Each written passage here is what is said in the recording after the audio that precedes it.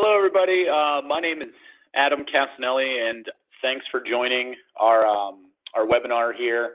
Uh, we're all with the Martindale Avvo group now, uh, which is also known as the Martindale Legal Marketing Network. And we were a panel that uh, did a presentation at NACBA in April out in Denver. And uh, we're going to kind of refresh your memories of these. And uh, if you have any questions, uh, we'll get to those too. But uh, we're going to essentially give you 40 tips on how to grow your practice. So on those 40 tips, what you need to know is that uh, there's 1.3 million total attorneys out there in the United States, and 500,000 of them are small law firms. So it's hard to imagine exactly how many of these practice bankruptcy law, but it's very important to make sure that uh, your practice stands out and is different from everyone else. So, on average, uh, the consumer might view somewhere between four to five legal websites before they decide they want to make contact with an attorney. So obviously having a website is very important to your business. I think at this point uh, everybody understands that. If you if you don't have a website, that's definitely something you'll you'll want to look into doing. But uh, you want to make sure that the the people when they get to your site are not just clicking the back button and looking at someone else's. The whole goal of someone getting to your site is you paid for them to get there. Now let's make sure that uh, we get them to contact you. So on our panel today, we have myself, I'm Adam Casanelli, Regional Sales Manager with uh, Martindale Hubbell, lawyers.com. We have Ann Shaw, who's actually a practicing attorney with uh, Shaw and Croson. And then we also have Brett Witten, who's an account manager with our Martindale Engage live chat product. And then uh, VP of Operations at Martindale Nolo, Chelsea Langen. So what we're going to do is each give you 10 tips. And um, if you have any questions along the way, the rules are pretty simple what we do is uh, we'll all give you these tips. I don't have my gavel because this is a webinar, but in person, I would be banging it when the time's up. Uh, we have a Q&A time built in at the end of the presentation, so if you uh, have any questions, feel free to enter those questions on the GoToWebinar control panel. There should be a questions tab, and if you enter those, they will be presented to me to, to re-go back to at the end. So uh, lastly, a recording of the presentation will be emailed uh, following this webinar. So if you forget something, uh, you can go right back to it. So without further ado, we're going to go over to Ann Shaw. And uh, Ann, take it away with your 10 tips. It's afternoon here, so good afternoon. We keep a kaleidoscope in our office. When clients stress over bankruptcy, we hand them the kaleidoscope. Change your perspective just a little, and everything you see changes. For perspective on what I'm sharing, you need to know something about me. I am one half of a law firm in a semi rural area.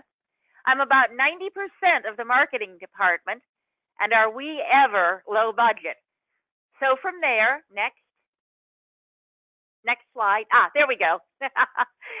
Tip one know your stuff. The Chesapeake Bay is a shallow and can be a treacherous body of water. James Michener, in his epic Chesapeake, includes this Know Your Stuff story. An extravagant yacht had gone aground on the mud flats. The only hope in sight was a shabby skipjack crewed by watermen. One of them yelled to the yacht's captain, I can get you off for 50 bucks. A vast sum then. The waterman effected a tricky but very quick maneuver and feed the yacht. yacht. Then, of course, the yacht captain balked at the $50 tab. That's a lot of money for six minutes' work. The waterman's retort it's $5 for doing and 45 for knowing how. Where is your value? It's in the knowing how. Step forward first with your amazing competence. Know your stuff. Next slide. Tip two honesty is still the best policy. First, let's be honest with our prospective clients. If they seem to qualify for legal aid, send them there.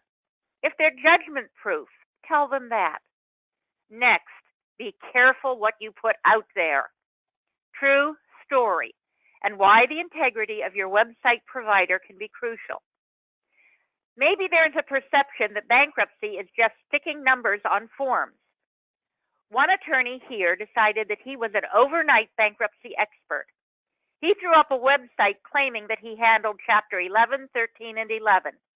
It declared that he had helped thousands of debtors get their fresh start. But the local bankruptcy bar knew he'd never even handled one single case. Letters were written, though not by me. The new bankruptcy wonder kid filed zero bankruptcies before he left town. Can we throw in a word for ethics here, too? Advance? Next slide. we'll get there. Tip three count on your courage. Social media. Lawyers don't do social media.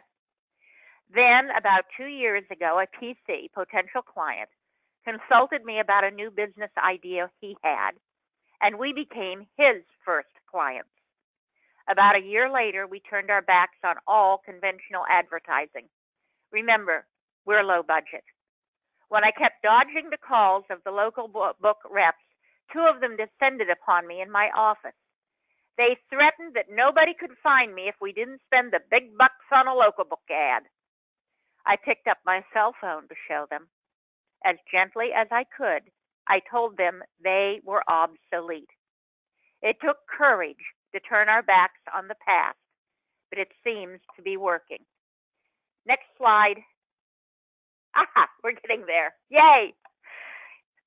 Still, figure out Facebook. So now we have a Facebook publisher. Why pay him to do what we can do? Because now we can't. Facebook wording and boosting has become tricky. It takes more time to figure it out now. Besides, what he charges us is de minimis. Then he fixes and embellishes what I send. He also does Twitter. And one day I was surprised to find out I had a blog. After we hired Rick, I went to first time Facebook school. The first three words out of the instructor's mouth were puppies and babies.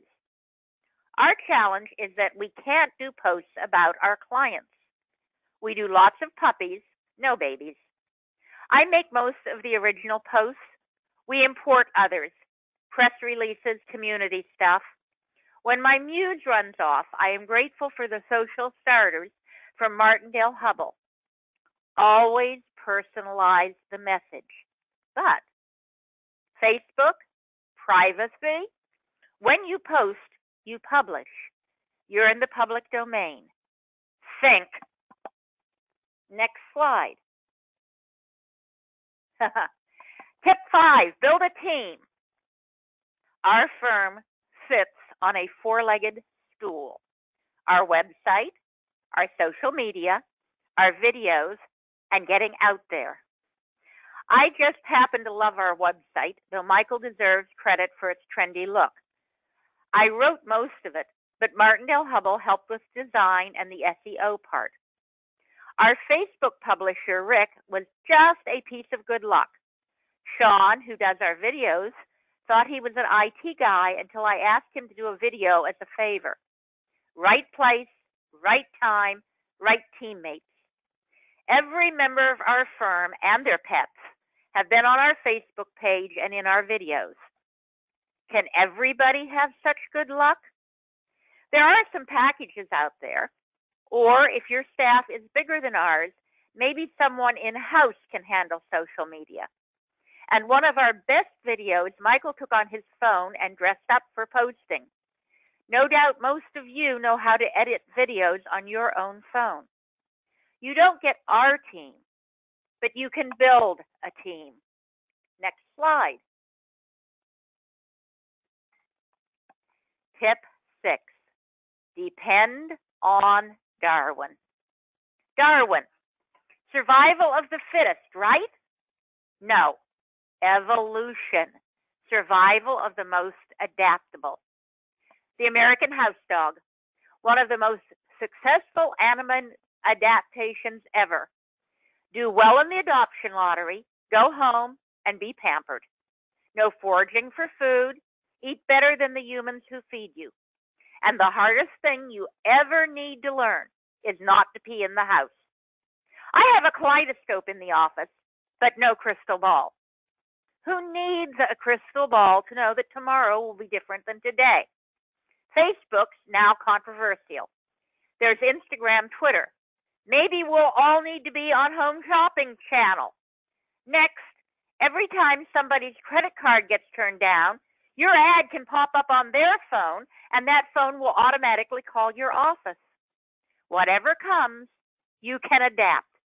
You can learn not to pee in the house. Next. Ah, we're already at next. Show a little star quality. I do dog and pony shows. I'll speak for almost any group, almost any time, on almost any subject. That's how I ended up doing this, my first webinar. These dog and pony shows have comet like tails. I'll ask a PC, why did you come to see me? I'll hear, four or five years ago, I was in a class you taught and. Not everybody wants or can public speak. My business partner, Michael, has a different talent. He can stop for a drink after work Friday and come in Monday with a new client. You have star quality. Show it. Make your PCs not what a lawyer, but what you. And star in your community. You can do well by doing good. We help with pro bono foreclosure prevention. We donate time to our local Habitat for Humanity. Even if your heart just isn't into helping people, your name gets out there and it gives you something to post on Facebook. Next. Covet your money and your time. Whether your firm is two attorneys or 20, you have finite resources. I was offered a more professional social media plan than we have now. The cost was only about 10 times more. We had a different website provider that only charged about twice what we're paying now and wasn't half as good. Another lo- local lawyer hired a New York company to make a video for him. That cost him nearly 20 times what we pay, though it is really professional looking. On a beer budget, we're getting champagne results. My grandmother said, use it up, wear it out, make it do, or do without. We don't go quite that far, but we do reuse and recycle. The Bankruptcy 101 PowerPoint for the Bar Association became a segment of legal uh, update for realtors. A video for security title got reworked for Halloween. And some of these tips will get rewrites for Facebook posts. You can get more stuff out there if you reuse the same stuff. And revising takes less time than creating. New slide.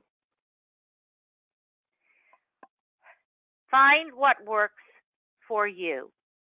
Facebook School 2018.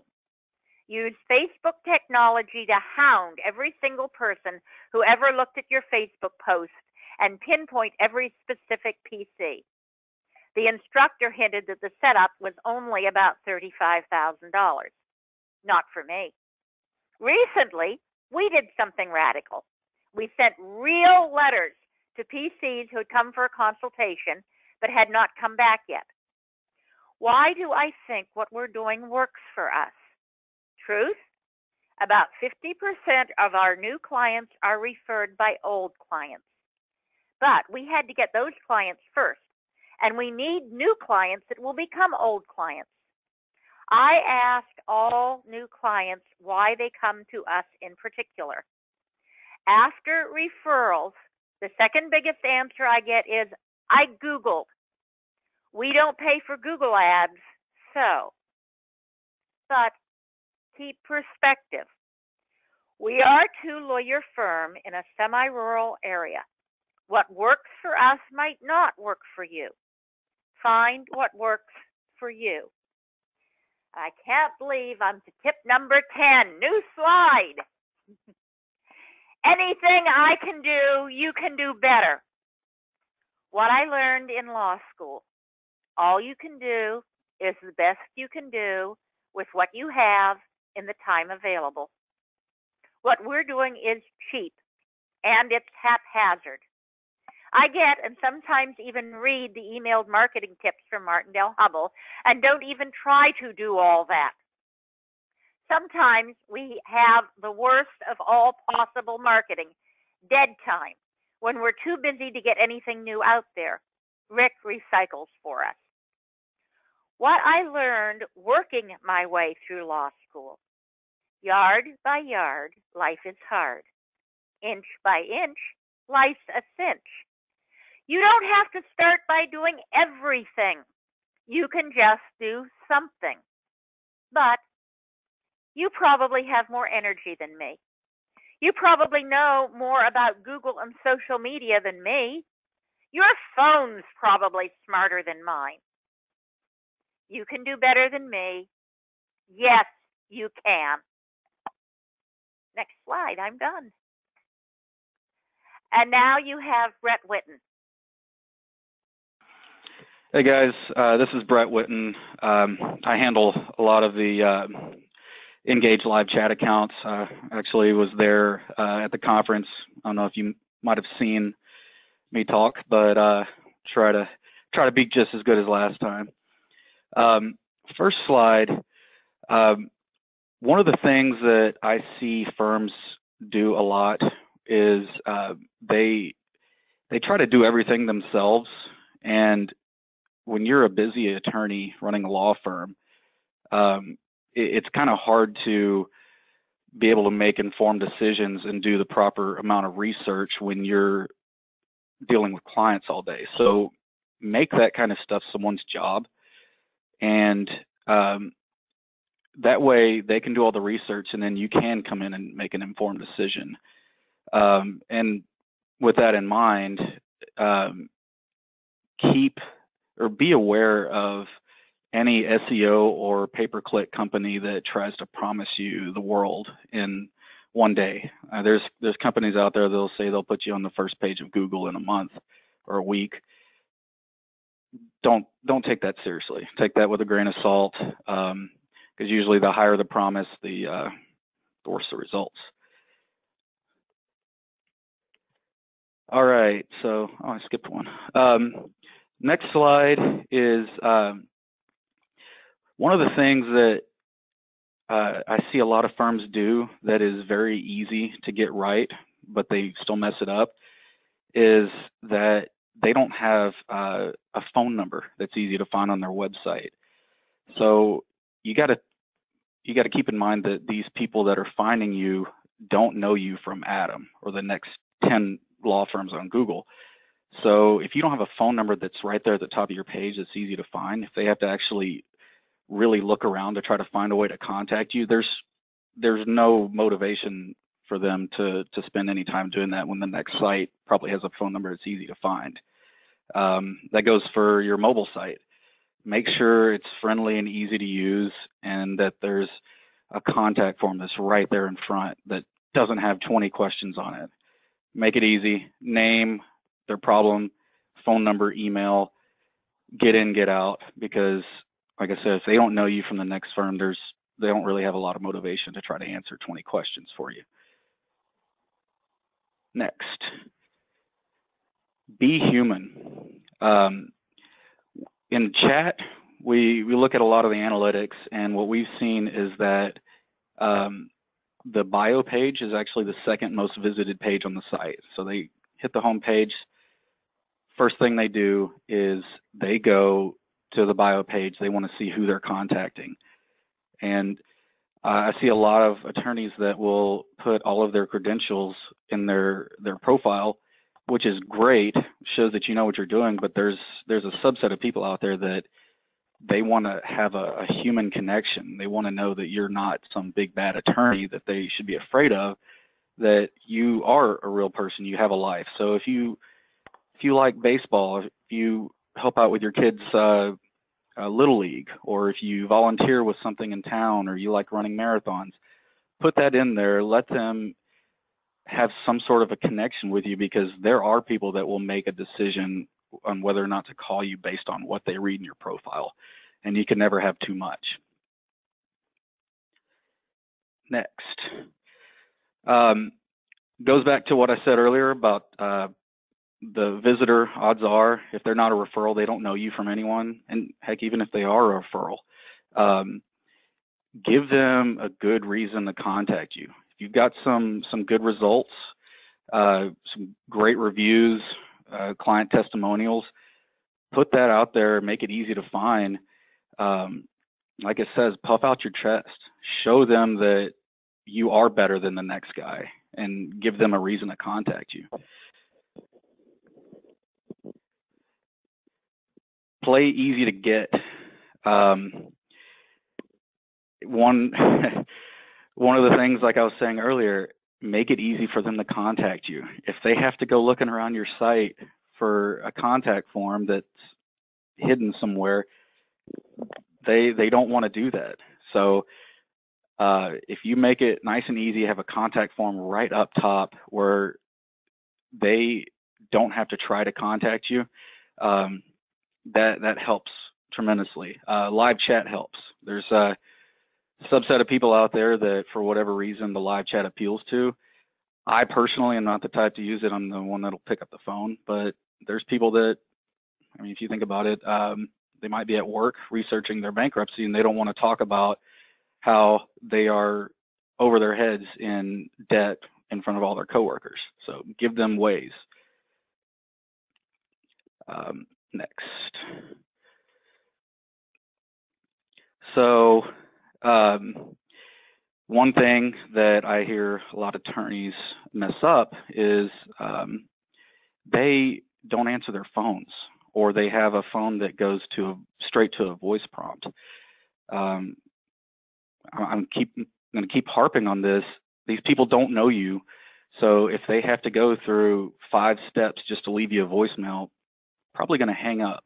There's a lot of very, uh, I say, very inexpensive and easy to set up services that if you aren't available to answer or you don't have a receptionist, you can get a virtual receptionist that will allow that person to contact get in contact with someone because even if it's not an attorney that they talk to directly, um, just getting on the phone with someone and possibly even setting an appointment can and will keep them from contacting the next firm on Google. Um, another thing that's easy to do is um, use a use an auto reply. Um, so if someone contacts you, say they uh, fill out a contact form, set it up to where you send them an email right away. If if you for whatever reason cannot give them a call, um, you're you're in court or whatever.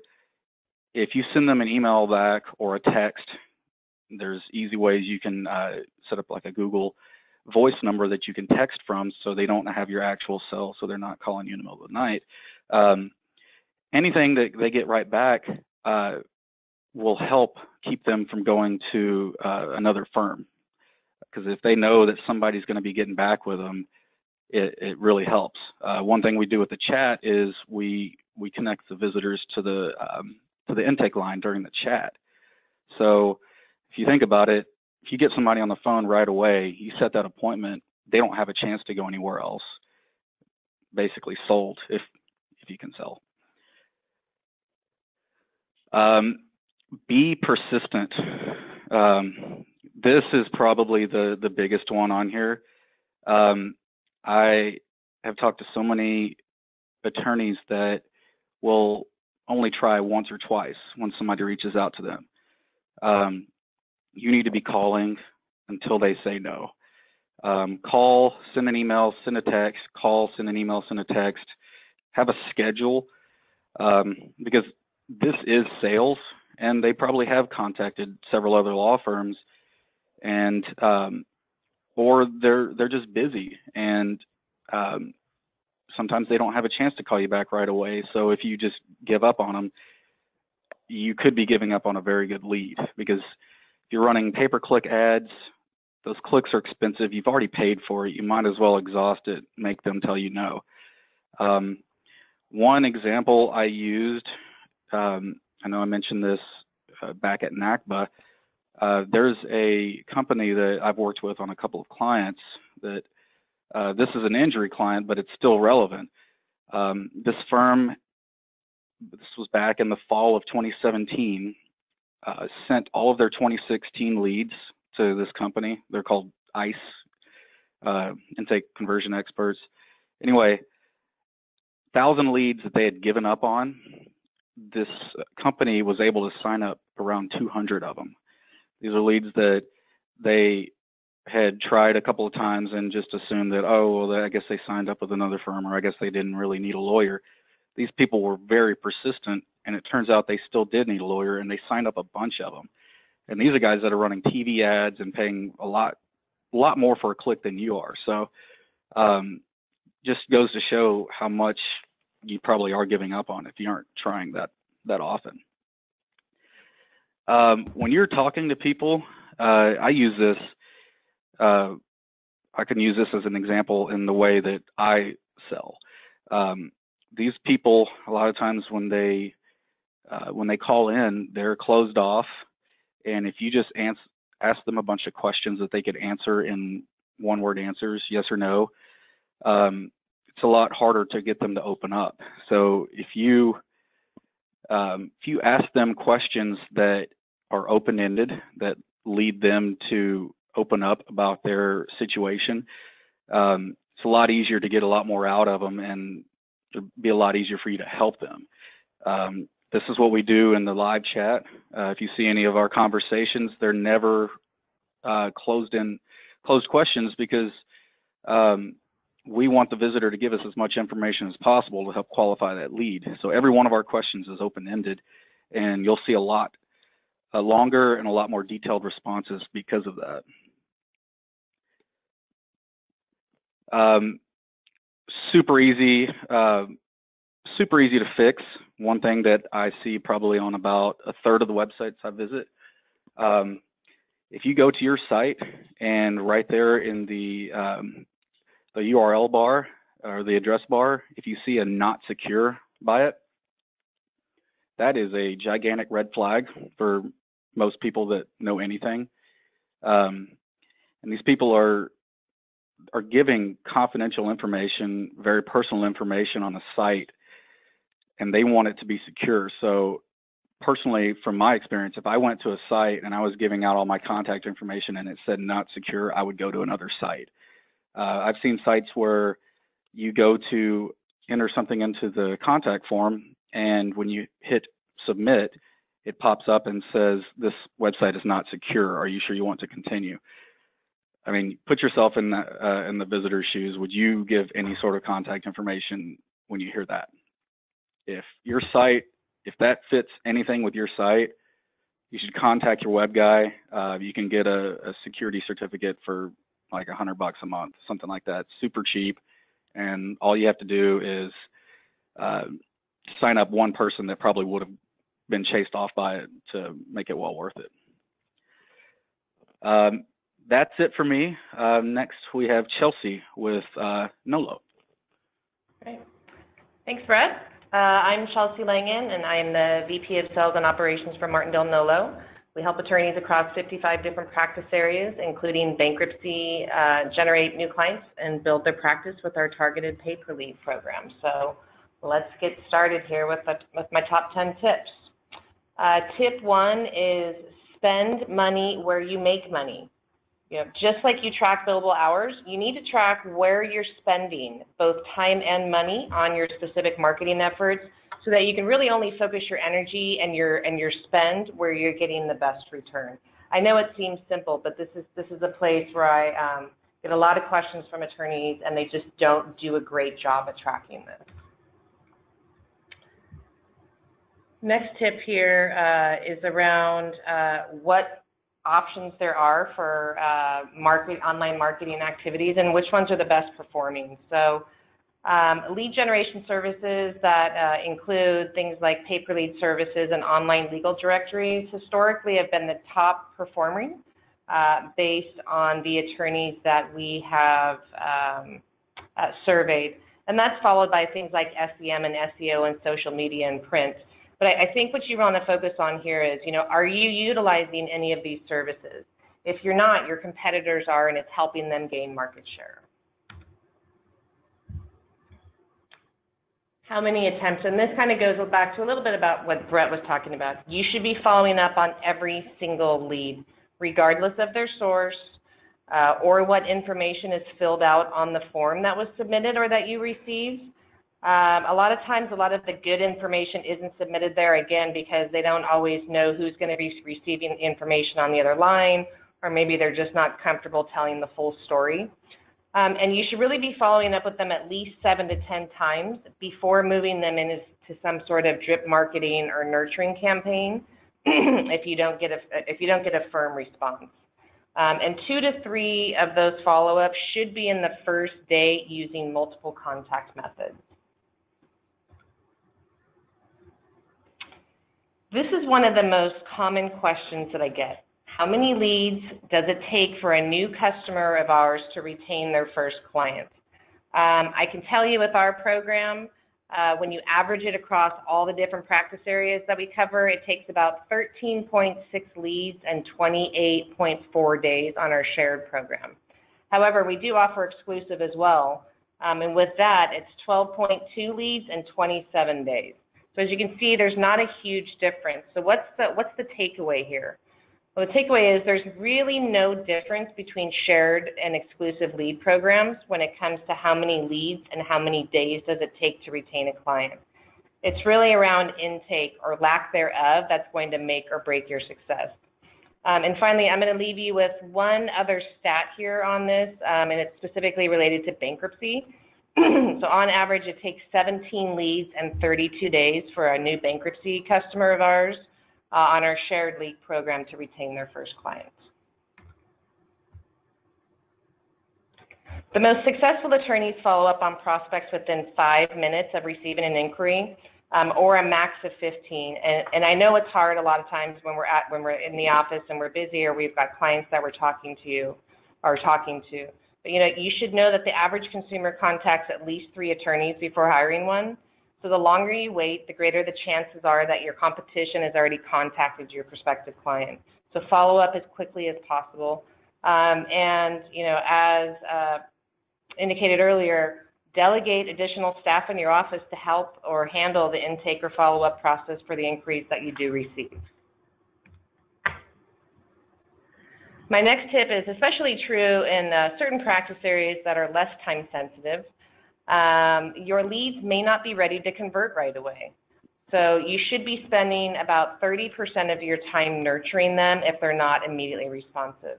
Uh, and one way to do that is to use technology like email automation, blogging, and social media, uh, as well as text and others to really stay in front of your prospects and top of mind so they make a commitment to hire you when the time is right.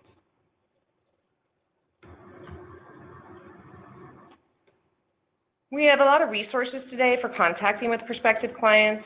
Um, you want to make sure that you know we've got the the existing the phone and the email, but I want to make sure that everybody's aware of the power of text messaging to really get that initial consultation scheduled and confirmed. Uh, and I I would challenge you to ask yourself if you're using all three. You know, Brett mentioned earlier, um, you know, the importance of getting out in front of the individuals and oftentimes they, you know, they may be at work, so that's why they engage in a chat. Well, it's kind of the same thing with any other inquiry. They may not want to have somebody call them even though you're responding within three minutes. They may not take the call because they don't want their cube mate to know that they're filing for bankruptcy. So be consistent and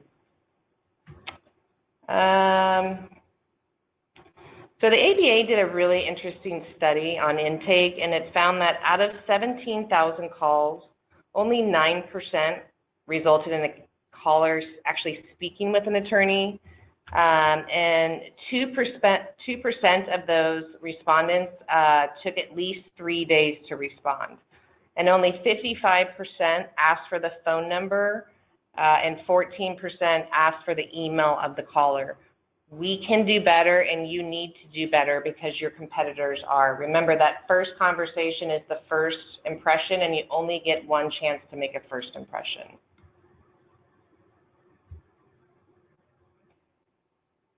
Twenty-one percent of consumers hire an attorney within one week. I'm going to say that again because it's important. 21% of consumers hire an attorney within one week. Again, this gets back to make sure you're working every single inquiry consistently um, and often, especially during that first week. And don't give up if they don't give you an immediate reply back. Try, try, try again. Uh, and I'll leave you with this one final tip. It actually ties back to my first tip of spending money where you make money. Marketing efforts aren't a set it and forget it activity. Uh, you should make sure that you're investing in a CRM or some sort of intake management system to help you keep track of your prospective client pipeline. Uh, and you want to be looking at this by source, um, you know, maybe geo if you if you cover you know outside of just your traditional city or county. Um, and it's really going to help you determine where to allocate and adjust your marketing dollars based on each source's performance. All right, thank you. I'm going to go ahead and turn it over to Adam Casanelli. Hey, everybody. Uh, back from the start. Um, but yeah, so my name is Adam Casanelli. I'm a regional sales manager with Martindale Hubbell. We also run lawyers.com. Those are the main legal directories. Um, so I'll kind of get into my tips here. The first one is uh, you got to own it. So there's a lot of things you can do out there online that uh, don't cost you a penny. One of them is claiming your Google My Business profile. Uh, if you haven't done it yet, you can just search for yourself on Google, see what comes up on the right side there. It should have your office location, uh, links to your website. Um, Google scrubs for that, but if it looks pretty uh, not filled out, you and there's even a button that says, "Is this your business?" or "Do you own this business?" You can click to claim it. The only thing that you need is a, a Gmail uh, address, and you can start building it out to your liking. Uh, if you don't find yourself on the map, you just go to Google and type in "Google My Business," and uh, you can actually build a uh, a page for uh, your company, your site, and start getting reviews in there. So that's one of the main things that I tell people to do if they haven't done it already. Uh, my next slide is linking up. So when it comes to linking up your website, there's plenty of powerful uh, directories that can provide good, like SEO juice, we call it, to your website. Obviously, some of them are lawyers.com, martindale.com, avvo.com, nolo.com. All of these are good quality SEO links that uh, you want going into your site. And there's, although there's no way to determine exactly what the exact benefit is. Like it's not going to be like, hey, I went from ranking here to ranking there. Uh, it's always good to have quality, authoritative sites linking to your site. So um, some of these directory sites cost money, some don't. Uh, usually, the better the site, the higher the power, uh, the more likely it is to cost something. So uh, my next slide is uh, knowing the intentions of uh, of what the person doing the search is out there. So you want to make sure that your website is found by the search engines. Uh, you want to make sure that it's content written for your potential customer. So when we're talking about the bankruptcy field, making sure that people can very easily understand the differences between uh, foreclosure, Chapter 7, Chapter 13, what those things all mean to them. So you want to make sure that you uh, learn about their their topics, uh, their topics of interest, uh, predict what they might already know, and provide that in the content of your website. Next tip, uh, quantity versus quality. So a quality website uh, with quality content is actually critical for Google. So a lot of people always talk to me on the phone and say, hey, how do I get higher and higher up the page on Google organically? Well, making sure that you don't leave the same content that was written 10 years ago on your page is, is one of those main factors. So you want to make sure that you have quality content, internal links that bring people from a main practice area page to something maybe more specific. Uh, within your own site. So if you have a page for bankruptcy and you start talking about Chapter 7 and Chapter 13 on it, uh, developing content that is strictly tied to Chapter 7 and 13 would be a great example of having those built. Uh, you can write content for each of them and then have pages essentially on your site for those practice areas. Um, but uh, yeah, you should definitely have a page of robust content for each individual practice area you can think of that you handle. So my next slide is uh, avoid legalese. So you want to make sure that you're using language spoken by your clients and your prospects. Try to stay away from legal jargon. Um, again, you know better than anyone else who your typical client is and how to to resonate with them. Um, but you want to make sure that uh, I don't know in in the bankruptcy realm, I think people are looking for someone who can kind of empathize with them and uh, be in their corner, but also lay out their options for them. Um, so uh, they're not necessarily the same people that are looking for uh, a litigation attorney or something like that. They're looking for someone that can just simply put out there exactly what their options are and which one you'd recommend going with moving forward. Tip number 36, be certified fresh. 93% uh, of consumers do read reviews online. Um, whether you're talking about a law firm or where you want to go grab dinner, chances are everyone has done a search on Yelp or on Google and looked at somebody's reviews and determined before even diving into it whether or not they're going to look at the menu or call that place. So, uh, best thing you can do is actually go do a search for yourself online, maybe click around to Google and these other legal directories too, and see what reviews you might have out there.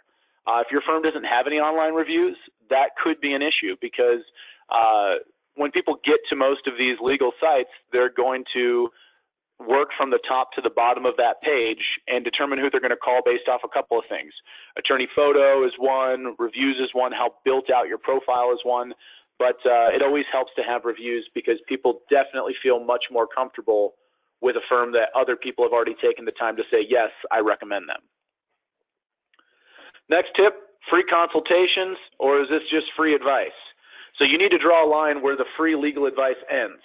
Uh, I talk with attorneys that tell me to activate and remove their free consultations button on their profiles all the time. And the main reason for that is they find out that they're giving away too much of their time for people that just don't have the money uh, to potentially file or they just don't qualify for it. So one of the things that I tell people to make sure that they're doing is kind of drawing a line where uh, you're not spending more than say five to ten minutes with somebody on the phone asking them uh, probing questions about their situation uh, before actually getting them to come in and sit down. Because like in just normal sales, that consultation is where you're really going to sell yourself on why they should go with you instead of at somebody else. And in the realm of bankruptcy, again, there's not too big a price variation of what people are going to charge. So really, it's about making sure that they feel comfortable with you versus someone else that they called. And a lot of the time, that can happen by getting them in front of you. Tip 38, we're getting to the end here. Uh, cast a wide net. You want to make sure that internet is not your sole provider of new leads coming in. Uh, you want to make sure that you have a strong network of referral sources, uh, other lawyers that maybe practice other areas of law, CPAs, real estate agents, auto dealers, financial planners, lenders, anyone working with credit reports is a good person to network with uh, because it just makes sense that uh, they may be in a position where they have to talk with someone about uh, bankruptcy options. So making sure that, especially in your local area, you're talking to everybody uh, makes a lot of sense. Uh, tip 39, find a common thread. So while networking may not come easy to you, uh, it might be more smoothly if you find a common thread with one of your potential clients. They hire you because they like you and they find something common between themselves and you as their potential attorney. So uh, I know for me, uh, I like sports. My common thread that when I'm talking with attorneys is usually uh, sports based. I'll see somebody at a trade show that's got uh, their city listed underneath their name, and because I know way too much about sports, I might bring something up and hope that they have that common thread as well. And then my last tip here that we have is uh, you want to be the solution. I put TCB on here, which stands for taking care of business. Uh, to bring in a new client, you got to motivate them to take action. A lot of people will just sit on their hands. Uh, they may make a phone call, they may do a chat, they may send an email, but you need to have a strategy and a solution to their problem to make them feel better uh, and give them a reason that they need to take action. Laying out all those options of what potentially could happen if they don't take action is uh, is something that sometimes it might be a hard truth, but it's a truth that these uh, folks inquiring need to know. So that's all the the tips that we have, all 40 of them. Uh, in terms of, of questions, um, it looks like we have one here for Brett with Ngage. It said, uh, what does the chat cost and are there any commitments to it? So Brett, do you want to kind of tackle that? Yeah, sure. Uh, so we um, we don't charge any kind of an activation if you're already working with uh, Martindale, uh, any of the Martindale or Avvo divisions, uh, and we don't have any set monthly fees. Uh, we charge on a qualified lead basis. So what that means is we'll send uh, a transcript of every chat we complete uh, within three to five minutes of the chat. And um, we don't do any filtering because we don't want Bob, the operator, trying to decide what's a good lead for the firm. Um, I like to use the rule of thumb that if you get a lead that, based on what the visitor said, you think is worth your time to follow up with uh, because you think you can help them, uh, that's 35 bucks. Um, if it's something that you don't handle, um, they're not in an area where you would take a client, uh, somebody you've talked to before, or it's clear they're just looking for free advice. Uh, there, there's a button in the email that you can use to take it off your bill.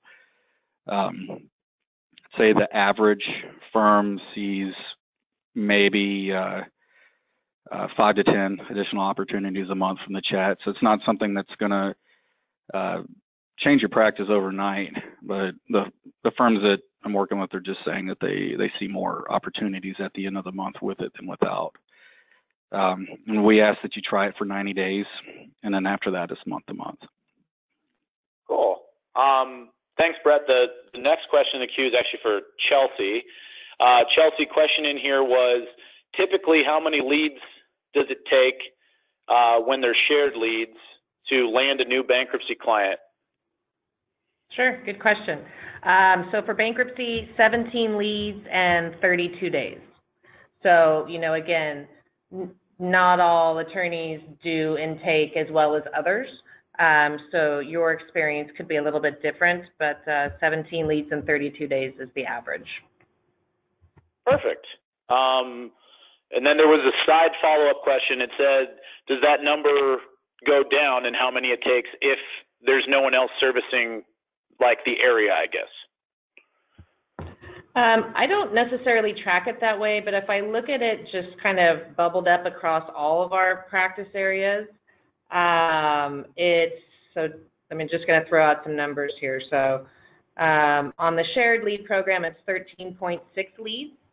So irrespective of whether it's a bankruptcy lead, DUI, personal injury, etc., um, and 28.4 days. But for an exclusive lead, it's 12.2 leads. So it's the difference of 1.4 leads between shared and exclusive. So it's pretty minimal.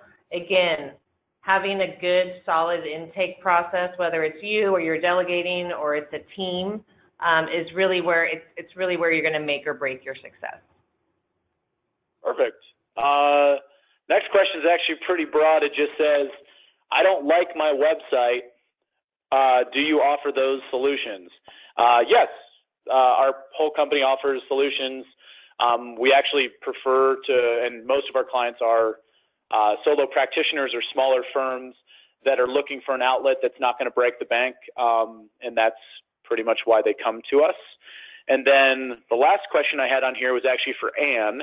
So uh, Anne, if you're here with us uh, from the first slides, it just said, um, how long have you been with the Martindale Hubbell uh, legal network, and what products specifically do you use? Okay, I think I've been with Martindale Hubbell about three years now. Uh, I have the website. We have the website. Uh, I think I'm on lawyers.com. Um, there's something else having to do with various counties that I'm on. Um, right now, Martindale Hubbell is my only web presence and I love it. okay, perfect. Um, well, that looks like those were the only questions kind of in the queue. So um, if you do have specific questions about any one of these uh, products, or if you have questions, a lot of attorneys like to talk with other attorneys that are doing different things in the market. Um, we're going to send out a recording of this webinar. Um, feel free to reach out to any one of us uh, about any of those products if needed. We're going to make sure that we send out not only uh, like the names of the panelists, but also our email addresses and our phone numbers. Um, so that way, if you have any questions or you're interested in hearing more about a specific piece of uh, these tips, uh, you can reach out to us directly. So um, yeah, thank you for your time, everybody, for joining the webinar, and uh, feel free to, to reach out to any of us if you have any questions in the future moving forward. So thanks again, and um, thanks, panel, for being a, a part of this webinar. Thank you. Thank you.